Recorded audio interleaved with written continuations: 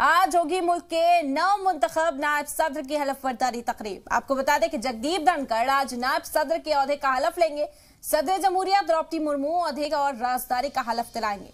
दोपहर तो साढ़े बारह बजे राष्ट्रपति भवन में हलफ बरदारी तकरीब होगी।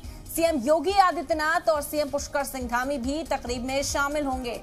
तो आज हलफ बरदारी तकरीब होगी। नौ मुंतखब नायब सदर जमहूरिया की हलफ बरदारी तकरीब है। जगदीप धनखड़ आज नायब सदर के अहदे का हलफ लेंगे। आपको बता दें कि सदर जमहूरिया द्रौपदी मुर्मू अहदे और राजदारी का हलफ दिलाएँगी। दोपहर तो साढ़े बारह बजे तकरीब का अहतमाम किया जाएगा। ये तकरीब राष्ट्रपति भवन में होगी। हलफ बरदारी तकरीब में हिस्सा लेने के लिए उत्तर प्रदेश के वज़ीर अला योगी आदित्यनाथ और उत्तराखंड के वज़ीर अला सीएम पुष्कर सिंह धामी यहाँ पर हिस्सा लेने के लिए भी पहुँचेंगे। तकरीब साढ़े बारह बजे मुनद की जाएगी।